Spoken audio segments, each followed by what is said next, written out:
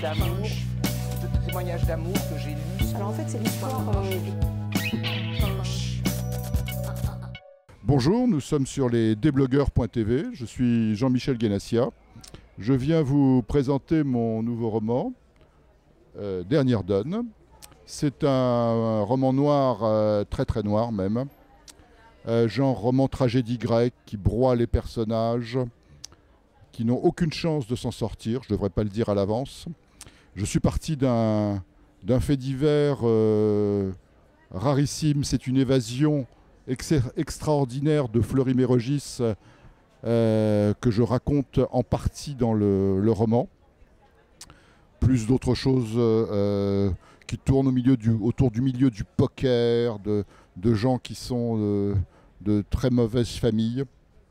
Et donc c'est un roman que j'avais écrit en 1986 qui était épuisé, comme moi, et euh, que j'ai complètement réécrit pour euh, le ressortir maintenant. euh, ça s'appelle Dernière Donne.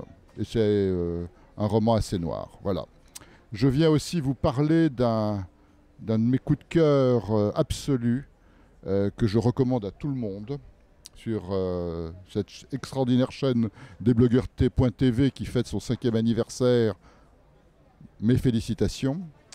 Euh, c'est Et que le vaste monde poursuive sa course folle de Colum McCann. C'est tout simplement le meilleur roman qui a été euh, qui est paru en France et même à l'étranger, mais surtout en France puisqu'on peut le lire en poche. Euh, c'est l'histoire de. Il y a quatre histoires en parallèle, notamment l'histoire de deux frères qu'on suit de- d'Irlande jusqu'à New York. C'est inracontable, mais c'est tout simplement sublime. C'est de très très loin le meilleur roman de Colum McCann. C'est bouleversant et euh, hormis peut-être la, chute qui est euh, euh, pas au, au niveau du reste, euh, Colum McCann a écrit un véritable chef-d'œuvre. Voilà, hormis la, la fin peut-être. Donc je recommande à tout le monde, précipitez-vous sur ce livre sublime et que le vaste monde poursuive sa course folle. Alors en fait, c'est l'histoire. euh,